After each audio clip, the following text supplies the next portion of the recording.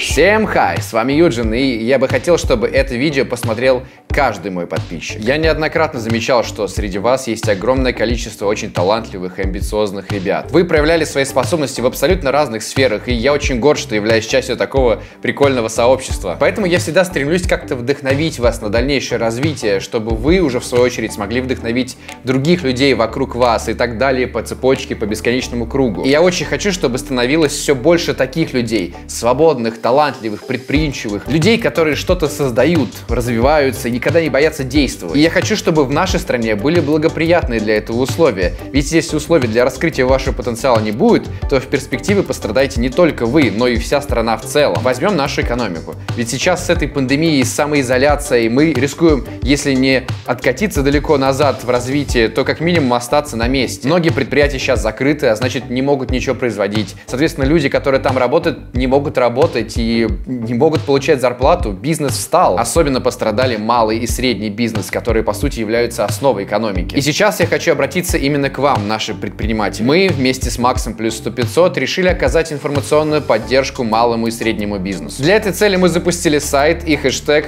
«Поддержи малого». Если вы, ваши друзья или знакомые занимаетесь бизнесом, или вы самозанятый гражданин, и вы считаете, что наша информационная поддержка может быть для вас полезной, то заходите на сайт, оставляйте информацию о своем предприятии, и мы с Максом расскажем о вас в своих видео видео. Вы можете находиться в любой точке России, это абсолютно не важно. Это не политика и не коммерция, а просто наша с Максом личная инициатива. Мы постараемся оказать информационную поддержку как можно большему количеству компаний в порядке очереди и обратимся к нашим зрителям с такой же просьбой. Разумеется, во время самоизоляции мы не можем провоцировать людей нарушать правила карантина, поэтому в период его действия мы будем отдавать предпочтение тем бизнесам, которые работают онлайн или могут перестроить свою работу на онлайн. Как только карантин снимут, мы начнем начнем освещать и офлайн предприятия. Опять же, это не коммерция, а только наша инициатива. Это значит, что мы постараемся сделать все возможное, чтобы донести информацию именно о вас. Очень важно, чтобы вы понимали, мы не будем опираться на свое личное мнение о вашем бизнесе, о качестве предоставляемых вами услуг или о надежности вашей репутации. Мы лишь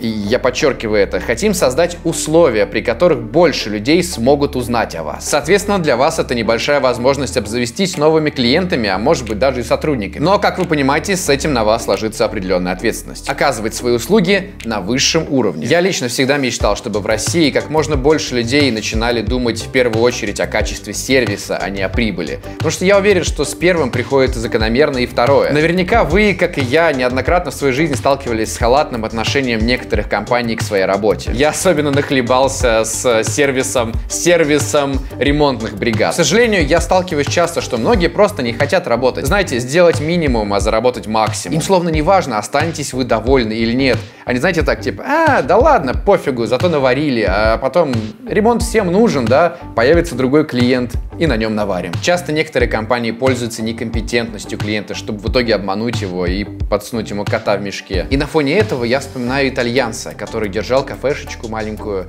на Пхукете, недалеко от пляжа Ката. Знаете, когда я приходил к нему завтракать, он ставил на стол мне тарелку с шикарной яичницей, с кучей различных нарезок, там, колбасы, мяса и так далее. А позже, когда я уже сидел, ел и пил вкуснейший кофе, он подбегал ко мне с очередным батоном новой какой-то колбасы говорит, смотри, смотри, новое принесли, хочешь я тебе отрежу, очень вкусно, очень вкусно. Я говорил, конечно, и он с улыбкой нарезал мне ее кусками в тарелку, и я потом радостно все это уплетал. Я к чему это? Почти весь отпуск, пока я жил неподалеку, я завтракал у него. Отличный сервис, постоянный клиент. Будьте всегда такими. Ставьте довольного клиента на первое место. А мы с Максом постараемся рассказать о вашем крутом сервисе. Да и сами клиенты захотят рассказать о вас другим. Точно так же, как я сейчас рассказал вам про итальянца из кафешки Dolce Lise. Поэтому, друзья, предприниматели, бизнесмены, заходите на сайт, заполняйте форму, ссылка будет в описании. И расскажите об этом видео своим друзьям и знакомым и тем, чему бизнесу поможет наша поддержка. Спасибо всем за внимание. С вами был Юджин и всем предприимчиво 5. Раз, два, три и пять!